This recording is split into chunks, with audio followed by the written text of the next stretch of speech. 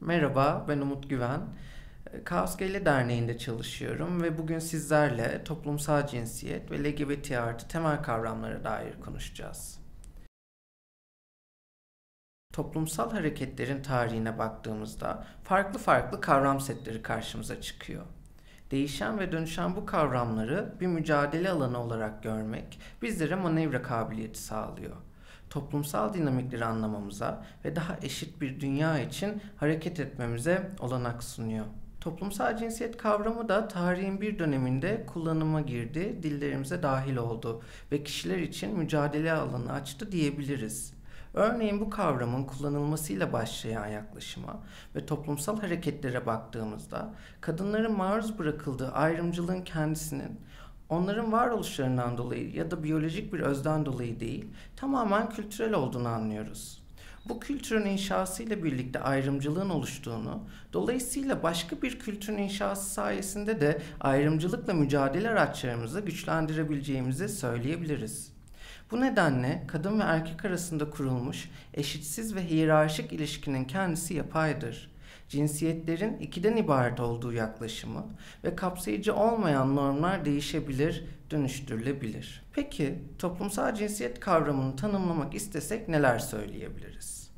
Küçük bir araştırmayla şöyle bir tanım yapmamız mümkün olur farklı kültürlerde, farklı coğrafyalarda ve farklı tarihsel zamanlarda kadınlara ve erkeklere toplumsal olarak yüklenen roller ve sorumluluklar bütünüdür. Toplumsal cinsiyet kavramı kadın ve erkeğin toplum içindeki farklı rollerini, e, sosyal konumlarını, ekonomik ve politik güçlerini yansıtır ve aynı zamanda da tüm bunları etkiler. Bu tanımlama doğru bir tanımlama fakat her ne kadar doğru olsa da bugün daha kapsayıcı bir dünya tahayyülümüz için yeterli değil. Haliyle bu kavramı toplumsal ön yargı haline gelmiş iki sabit toplumsal cinsiyet kimliği düşüncesinin yani kadın ve erkek ikililiğinin ötesine geçerek diğer cinsiyetleri ve cinsiyet kimliklerini de içeren bir kavramsallaştırma olarak ele alabiliriz. Bu kavramı nasıl ele aldığımız, toplumsal cinsiyet rollerini dönüştürmek ve ön yargı, ayrımcılıkla mücadelede önemli bir rol oynar. Peki toplumsal cinsiyet rolleri dediğimiz ne? Toplumsal cinsiyet rolleri toplum tarafından kişiye atfedilen ve kişinin uyması beklenen tutumlar, davranışlar, eylemlerdir denebilir. Toplumsal cinsiyet rolleri zamansal, mekansal, toplumsal ve kültürel durumlara paralel olarak değişmekte, farklı farklı görünümler kazanmaktadır. Bu nedenle durağan değildir, değişkendirler, dönüştürülebilirdirler de. Bu roller ve sorumluluklar kişiler arasında çoğu zaman bir eşitsizlik ve ayrımcılığa sebep olur.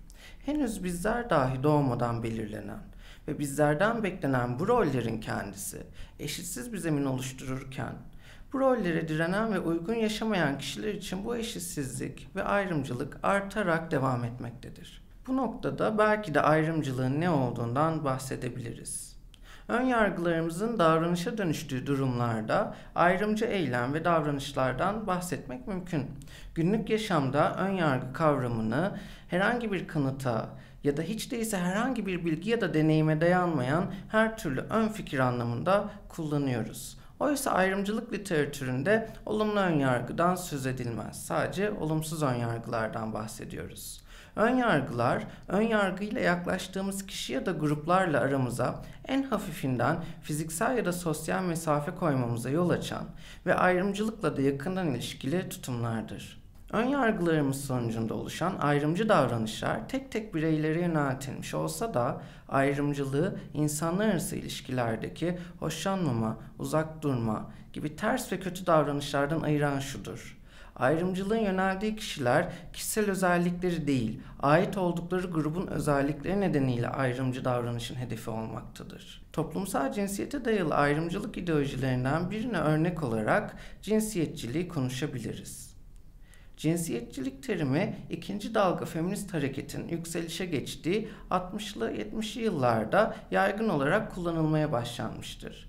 Genelde bir erkeğin kadınlar üzerindeki üstünlük iddiası gibi kabul görülse de bugün de bazen böyle kullanılsa da bu kavram cinsiyetçilik daha çok sistematik ve her türlü cinsiyet kimliği, yönelim ve cinsiyet karakteristiğine yönelik bir ayrımcı yaklaşıma işaret eder. Eşit ve adil bir toplumsal örgütlenmenin bulunduğu durumlarda ön yargıdan söz etmek belki yine mümkün olabilir.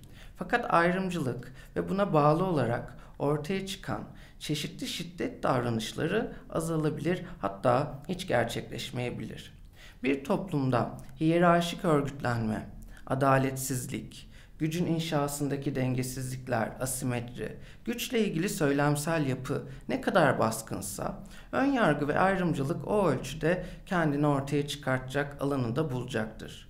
Tam da bu yüzden önce dilimizden başlayarak eşitlik ve kapsayıcılık için birlikte çalışmanın önemli olduğunu inanıyorum toplumsal cinsiyet eşitliğini ve ayrımcılıkla mücadele araçlarımızı konuşurken de hangi kavramları dilimize dahil ediyoruz ve neleri dışarıda bırakıyoruz? Daha kapsayıcı bir eşitlik mücadelesi için hangi kavramı nasıl dilimize dahil etmeliyiz sorularını önemli buluyorum. O yüzden gelin birlikte LGBT artı temel kavramlara dair biraz konuşalım. LGBTİ artı lezbiyen, gay, biseksüel, trans ve interseks kimliklerinin baş harflerinden oluşan bir kısaltmadır. Lezbiyen, gay, biseksüel cinsel yönelimi, trans cinsiyet kimliğini, interseks ise cinsiyet karakteristiğini ifade eder. Bu tanımlar dışındaki cinsel yönelim ve cinsiyet kimliklerini kapsama açısındansa son yıllarda kısaltmanın sonuna daha fazlası anlamına gelen artı işareti konulmuştur. Artı işareti cinsel yönelim ve cinsiyet kimliği çeşitliliğinin bu kısaltmada yer alan kimliklerden çok daha fazlasını bizlere işaret etmektedir. LGBT artı kısaltmasındaki bazı kimliklerin cinsel yönelim ifade ettiğini söylemiştik. Peki nedir cinsel yönelim? Cinsel yönelim belli bir cinsiyetteki kişiye ya da kişilere karşı süregelen duygusal, romantik veya cinsel çekimi ve çekim hissedip hissetmeme durumunu ifade eder. Kişiler beyanlarıyla cinsel yönelimlerini ifade edebilecekleri gibi etmeyebilirler veya baskı ve şiddet görme ihtimalinden dolayı edemeyebilirler de. Dışarıdan gözlenerek bir takım kalıp yargı ve ön yargılar üzerinden veya varsayımlarla kişilerin cinsel yönelimini anlayamayız. Bir kişinin kadınsa erkeklere, erkekse kadınlara karşı süre gelen duygusal, romantik veya cinsel çekimini ifade eden heteroseksüellik ile LGBT artı kısaltmasındaki lezbiyen, gay, biseksüel kimlikleri ve artı şemsiye terimindeki kimliklerin bir kısmı cinsel yönelimler arasındadır. Cinsel yönelim çeşitliliği, cinselliğe ilişkin çeşitliliğin doğal bir sonucudur. Cinsel yönelimlerin hiçbiri diğerinden daha doğal, daha sağlıklı, daha üstün, daha normal değildir. Kendi cinsiyetinden kişilere karşı duygusal, romantik ve cinsel yönelim içinde bulunan kişileri tarifler.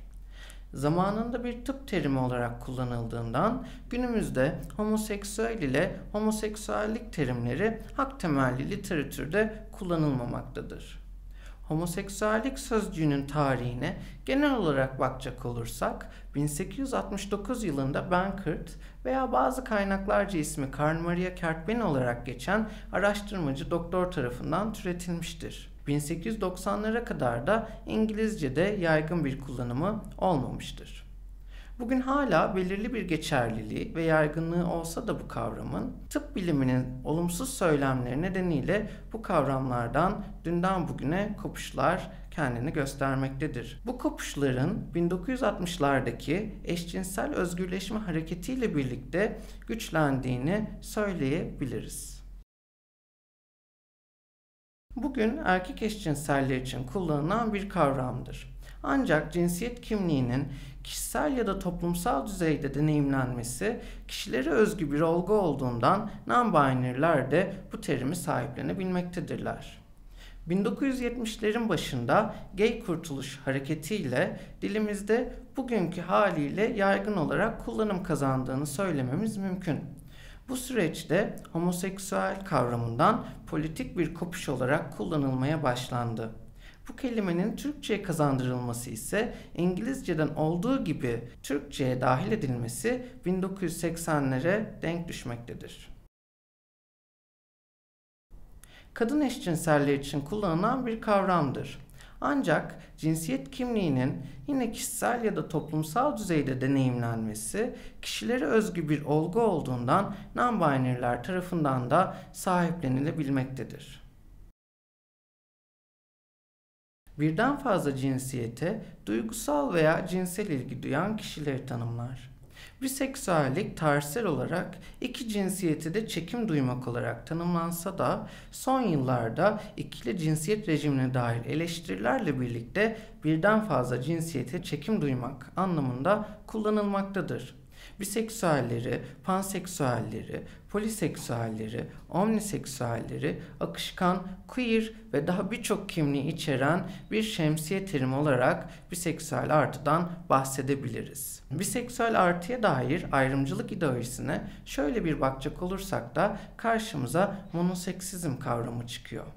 Monoseksizm kavramı biseksüel artıların maruz bırakıldığı ayrımcı ideolojilerden biridir herkesin monoseksüel olduğu yani sadece tek bir cinsiyete çekim duyduğu ya da böyle olması gerektiğini varsayan sosyal sistemin kendisidir.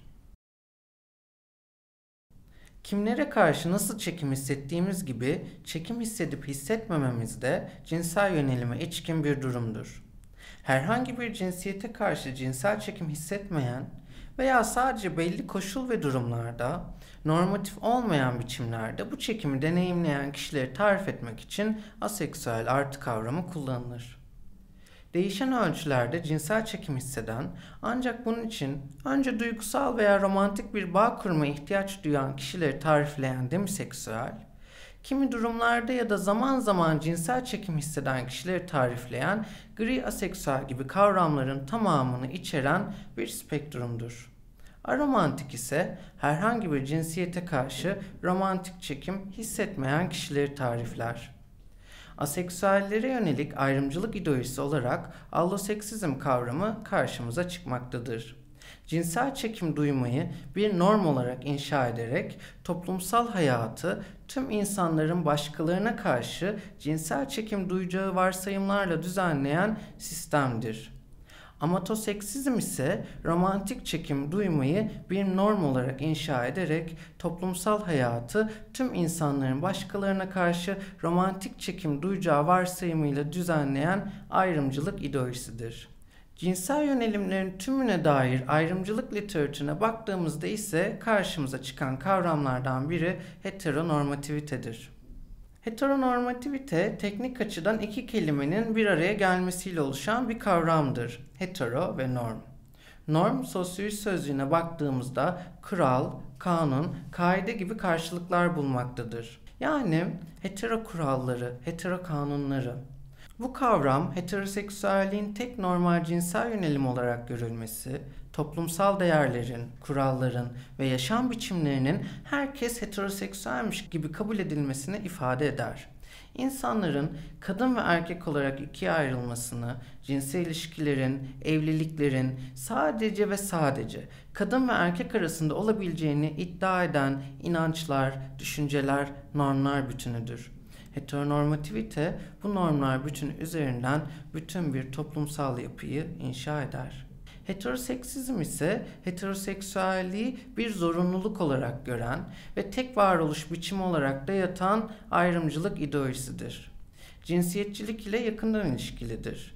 Heteroseksizm doğal, normal, üstün ve kabul edilebilir cinsel yönelimin heteroseksüellik olduğunu öne sürer heteroseksüel olmayan her türlü davranış, kimlik veya ilişkiyi damgalayan, reddeden ve aşağılayan ideolojik bir sistemdir.